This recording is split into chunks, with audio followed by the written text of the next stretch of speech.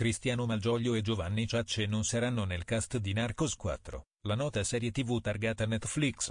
La conferma arriva dal portale di Davide Maggio, dal quale arriva infatti il chiarimento, ci abbiamo messo un po' di tempo, ma siamo arrivati dritti dritti alla fonte e abbiamo scoperto quello che abbiamo sempre sospettato, non esiste nessun ruolo per Cristiano Malgioglio né tanto meno per Giovanni Ciacci.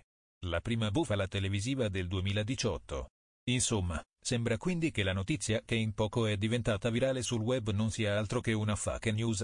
In effetti l'indiscrezione aveva scatenato molte perplessità, soprattutto da parte dei fan di Narcos, serie tv ispirata a Pablo Escobar, eppure la diffusione della notizia e le successive parole dei diretti interessati avevano cancellato ogni dubbio.